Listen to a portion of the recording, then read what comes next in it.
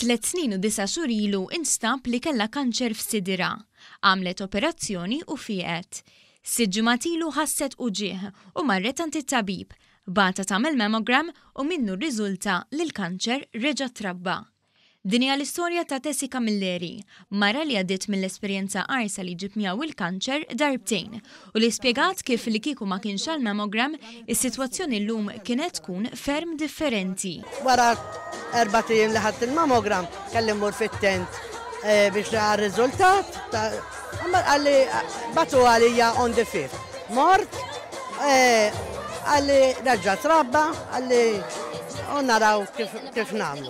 Tessie qasmet l-esperjenza tagħha ma' mijiet ta' persuni li l-Ġimgħa filgħaxija nġabru fil-Kalkara u mxew lejn il-Birgu, f'attività minn sensiela li qed jittellgħu fil-kampanja Pinkoctober, bil-għan li titqajjem kuxjenza dwar il-kanċer tas-sider.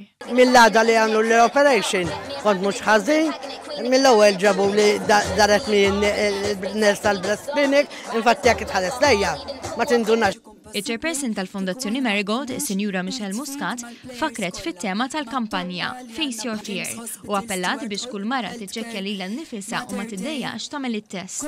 Hi qalet dan qabel ma bdiet dik li fi kliemha kienet tmixja simbolika. Niftakru f'dawk in-nies li sfortunatament tilfu l-battalja imma b'mod aktar b'saħħtu nimxu wkoll biex nagħtu kuraġġ il dawk li għaddejjin minn din il-ġlieda ħalli ma jaqtgħux qalbhom u jkomplu jiġġieldu din il-battalja.